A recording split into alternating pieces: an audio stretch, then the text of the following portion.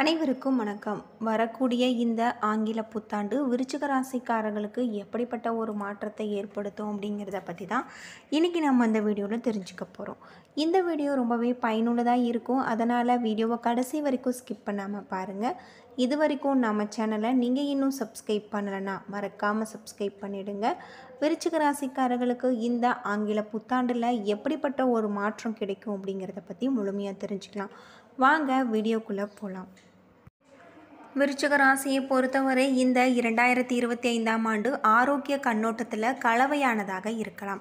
ஆண்டின் ஆரம்ப மாதங்களில் குறிப்பாக மார்ச் மாதம் வரை நான்காம் வீட்டில் சனி பயிற்சிப்பது ஆரோக்கியத்தின் பார்வையில் நல்லதல்ல. குறிப்பாக உங்களுக்கு பிரச்சனைகள் ஏற்பட வாய்ப்பு இருக்குது முழங்கால் சம்பந்தமான பிரச்சனைகள் இடுப்பு சம்பந்தமான பிரச்சனைகள் அல்லது தலைவலி போன்ற பிரச்சனைகள் ஏற்பட வாய்ப்பு இருக்குது இந்த காலகட்டத்தில் ஜனவரி முதல் மார்ச் வரை தங்கள் ஆரோக்கியத்தை முழுமையாக கவனித்து கொள்ள வேண்டும். மார்ச் மாதத்திற்கு பின் வரும் காலம் உங்களுக்கு பழைய நோய்களை நீங்கி ஆரோக்கியமாக வைத்திருக்க உதவும். ஆனால் மே மாதம் முதல் நான்காம் வீட்டில் பயிற்சிப்பதால் உங்களுக்கு மார்பு சம்பந்தமான பிரச்சனைகள் ஏற்படலாம். மார்ச் மாதத்திற்கு பிறகு சனியின் பயிற்சி வயிறு சம்பந்தமான பிரச்சனைகளை உண்டாக்கக்கூடிய ஒரு காலமாக இந்த காலகட்டம் அமைஞ்சிருக்கு. அடுத்து வரக்கூடிய காலகட்டத்தில் நீங்கள் எச்சரிக்கையாக இருப்பது உங்களுக்கு ரொம்பவே நல்லது அப்படின்னே சொல்லப்படுது.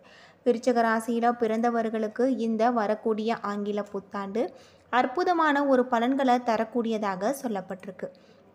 அது மட்டும் இல்லாமல் கல்வி பார்வையில் சராசரியான பலன்களை தருவதாக தெரிகின்றது.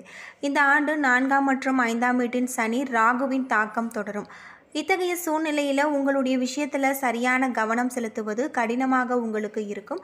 தொடர்ந்து முயற்சி செய்பவர்கள் தங்கள் பாடத்தில் கவனம் செலுத்துவது மட்டுமல்லாமல் நல்ல ஒரு பலன்களை பெற முடியும்.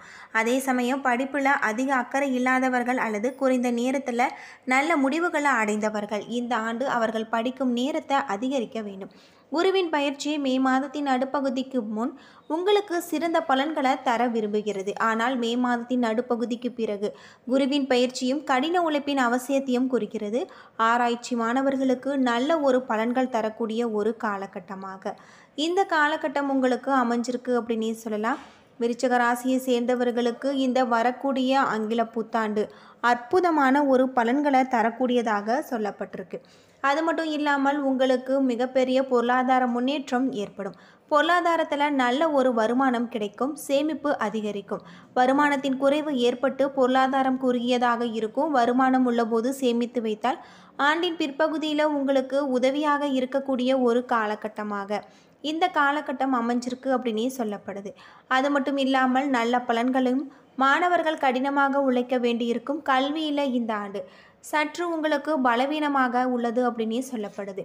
தொழிலை பொறுத்தவரை உங்களுக்கு வியாபாரத்தில் கலவையான பலன்கள் தரலாம். ஆண்டின் தொடக்கத்தில் இருந்து மே மாத நடுப்பகுதி வரை ஏழாவது வீட்டில் பயிற்சிப்பது வியாபாரத்தில் நல்ல ஒரு பலன்களை தரக்கூடியதாக சொல்லப்பட்டிருக்கு. இந்த காலம் புதிய வணிகம் மற்றும் வணிக தொடர்பான புதிய சோதனைகளுக்கு நல்லதாக கருதப்படுது. மே மாதத்தின் நடுப்பகுதிக்கு பிறகு குரு எட்டாவது வீட்டில் இருக்கார். ராகு நான்காவது வீட்டில் பயிற்சிக்கிறாரு. கேது பத்தாம் வீட்டில் பயிற்சிப்பதால். உங்களுக்கு புதிய வணிக முடிவுகளுக்கு நல்லதாக கருதப்படாது. உங்கள் பகுதியில் உள்ள மூத்தவர்களுடன் கலந்தோசிக்க வேண்டிய அவசியம் ஏற்படும். உங்கள் துறையில் மூத்த நபர் ஒருவர் உங்களுக்கு தொடர்பில் இருந்தால் அவருடன் முழு மரியாதையுடன் இணைந்திருக்க வேண்டியது உங்களுக்கு நல்லது.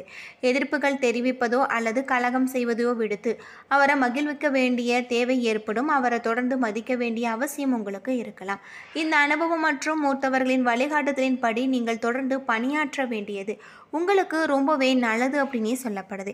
அது மட்டும் இல்லாமல் தொழில் பார்வையில் உங்களுக்கு ஒரு கலவையான பலன்களை தரக்கூடியதாக இருக்குது ஆறாம் வீட்டின் அதிபதியான செவ்வாய் இந்த வருடம் சில சமயங்களில் நல்ல பலன்களை மற்றும் நேரங்களில் பலவீனமான பலன்களை தரலாம். ஆண்டின் தொடக்கத்தில் இருந்து மார்ச் மாதம் வரை சனியின் பார்வை ஆறாம் வீட்டில் இருக்குது இதனால் வேலை சம்பந்தமான சில அதிருப்திகள் மனதில் இருக்கக்கூடும். மார்ச் மாதத்திற்கு பிறகு சனியின் நிலை மாறுவதால் நீங்கள் உங்கள் வேலையில் திருப்தியாக இருப்பீங்க அல்லது பெரிய அளவில் நன்றாக உணரலாம். மே மாதத்தின் மத்தியில் குரு லாப வீட்டை பார்த்து நல்ல பலன்களை கொடுத்து பெற முயற்சிப்பார். அது மட்டும் இல்லாமல் உங்களுக்கு சனியின் நிலை மாறுவதால் வேலையில் உங்களுக்கு பெரிய அளவில் நன்றாக இருக்கக்கூடியதாக சொல்லப்படுது. இந்த வழியில் நீங்கள் மே மாதம் வரை வேலையில் தொடர்ந்து சாதனைகளை பெறுவீங்க. மார்ச் மாதம் வரை சில சிரமங்களை சந்திக்க நேரிருக்கும். அதே சமயம் மார்ச் முதல் மே மாதத்தின் நடுப்பகுதி வரை நீங்கள் மாற்றங்களை செய்வதால் மிகவும் நல்லது மற்றும் சாதகமானதாக இருக்கு. மே மாதத்தின் நடுப்பகுதிக்கு பிறகு நிலைமைகள் சற்று கடினமாக இருக்கலாம். இருப்பினும் வெளிநாட்டில் வேலை செய்பவர்கள் தொலைதூரத்தில் வேலை செய்ய விரும்புபவர்களுக்கு இந்த காலகட்டம் நல்ல பலன்களை பெறக்கூடியதாக சொல்லப்பட்டிருக்கு. விருச்சிக ராசியில் பிறந்தவர்களுக்கு இந்த இரண்டாயிரத்தி இருபத்தி ஐந்தாம் ஆண்டு நிதி விஷயங்களில் கலவையான ஒரு பலன்களை தரக்கூடியதாக இருக்குது உங்கள் லாப வீட்டிற்கு அதிபதியாக புதன் பயிற்சிப்பதால் ஆண்டின் பெரும் பகுதிக்கு புதன் நல்ல ஒரு பலன்களை தர முயற்சி செய்கிறார். மே மாதத்தின் நடுப்பகுதி வரை உங்கள் பண வீட்டின் அதிபதியான குரு லாப வீடாக இருப்பதால் நீங்கள் ஒரு நல்ல வருமானம் ஈட்டுவது மட்டுமல்லாமல் வருமானத்தின் பெரும் பகுதிகளை சேமிக்க முடியும். ஆனால் மே மாதத்தின் நடுப்பகுதிக்கு பிறகு வருமானத்தின் சிறிது மந்த நிலை காணப்படும். மே மாதத்தின் நடுப்பகுதிக்கு பிறகு செவ்வாய் வீட்டிற்கு அதிபதியாக குரு செல்வ வீட்டை பார்க்கிறார். இத்தகைய சூழ்நிலைகளை குரு சேமிப்பு அல்லது சேமித்த பணத்தின் அடிப்படையில் சாதகமான ஒரு முடிவுகளை தருவார். ஆனால் வருமானத்தின் அடிப்படையில் உதவ முடியாது ஆண்டின் தொடக்கத்தில் இருந்து மே மாதத்தின் நடுப்பகுதி வரையிலான நேரம் வருமானத்தின் பார்வையில் மிகவும் நல்லது. எனவே பிந்தைய காலம் வருமானம் பார்வையில் சற்று பலவீனமாக இருந்தாலும் சேமிப்பு பார்வையில் உங்களுக்கு ரொம்பவே நல்லதாக சொல்லப்படுது. பொதுவாக விருச்சிக ராசியில் பிறந்தவர்களுக்கு காதல் வாழ்க்கை எப்படி இருக்கும் அப்படின்னு பார்த்தா இது ஒரு சில நல்ல மற்றும் பலவீனமான முடிவுகளை தரக்கூடிய ஒரு காலமாக அமைஞ்சிருக்கு. மே மாதத்திற்கு பிறகு ஐந்தாம் வீட்டில் இருந்து ராகு கேதுவின் தாக்கம் முடிவடையும். காதல் உறவுகளை பொறுத்தவரை உங்களுக்கு மிகப்பெரிய ஒரு கண்ணோட்டம் சிறப்பாகவும் உண்மையாகவும் மாறும். மார்ச் மாதத்தில் இருந்து சில ஐந்தாம் வீட்டில் மிகப்பெரிய பயிற்சி ஏற்படுவதால் காதல் உறவுகளை சில அக்கறையற்ற தன்மையை கொடுக்கக்கூடியதாக இருக்குது உண்மையிலே நேசிக்கும் மக்களுக்கு சனி உதவியாக இருக்கும் உங்கள் காதல் உண்மையானதாக இருந்தால் நீங்கள் ஒருவரை ஒருவர் விரும்புகிறீர் என்றால் எதிர்காலத்தில் திருமணம் செய்து கொள்ள விரும்புவீர்கள் என்றால் இத்தகைய சூழ்நிலை உங்களுக்கு ஒரு நல்ல முடிவுகளை தரக்கூடியதாக சொல்லப்பட்டிருக்கு. விருச்சிக ராசியில் திருமண வயதை அடைந்து திருமண முயற்சியில் ஈடுபட்டிருந்தார் இந்த ஆண்டின் முதல் பகுதி உங்களுக்கு. இந்த விஷயத்தில் நல்ல ஒரு உதவியாக இருக்கும். குறிப்பாக மே மாதத்தின் நடுப்பகுதி வரையிலான காலம் நல்ல ஒரு பலன்களை தருவதாக சொல்லப்படுது. இந்த காலகட்டத்தில் உங்கள் ஐந்தாம் வீட்டிற்கு அதிபதியான குரு ஏழாம் வீட்டில் இருக்காரு. காதல் திருமணத்தை பொறுத்தவரை உங்களுக்கு மிகப்பெரிய ஒரு மாற்றம் ஏற்படும். மே மாதத்தின் நடுப்பகுதிக்கு பிறகு முடிவுகள் ஒப்படைகளில் பலவீனமாக இருக்கலாம். ஆண்டின் முதல் பாதையில் திருமண செயல்முறைகளை முடிப்பது உங்களுக்கு புத்திசாலித்தனத்தால் முடியும் அப்படின்னு சொல்லப்படுது. அது மட்டும் இல்லாமல் ஆண்டின் முதல் பகுதி திருமண வாழ்க்கை தொடர்பான விஷயங்களில் சிறந்த ஒரு முடிவுகளை தரும். குரு எட்டாவது வீட்டிலும் சனி ஏழாவது வீட்டிலும் இருக்காரு. எனவே முரண்பாடுகள் அல்லது குரு எட்டாவது வீட்டில் இருப்பதால் ஏற்றத்தாழ்வுகள் ஏற்பட வாய்ப்பு இருக்குது அப்படின்னே சொல்லப்படுது. குடும்ப வாழ்க்கையை பொறுத்தவரை ஆண்டின் முதல் பகுதி உங்களுக்கு சிறப்பாக இருக்குது மே மாதத்தின் நடுப்பகுதி வரை இரண்டாம் வீட்டின் அதிபதியாக குரு. நல்ல ஒரு நிலையில் இருப்பதால் குடும்பத்தில் உங்களுக்கு விட்டு கொடுத்து செல்வது ரொம்பவே நல்லது. மகிழ்ச்சிகரமான ஒரு காலகட்டமாக அமைய நீங்கள் விட்டு கொடுத்து செல்வது நல்லதாக சொல்லப்படுது. அது மட்டும் இல்லாமல் இந்த இரண்டாயிரத்தி இருபத்தி ஐந்தாம் ஆண்டு விருச்சிக ராசிக்காரர்களுக்கான பரிகாரம் என்ன அப்படின்னு பார்த்தா ஒவ்வொரு சனிக்கிழமையும் நான்கு தென்னை தேங்காய்களை சுத்தமாக பாயும் நீர்களை முழுக செய்யுங்கள்.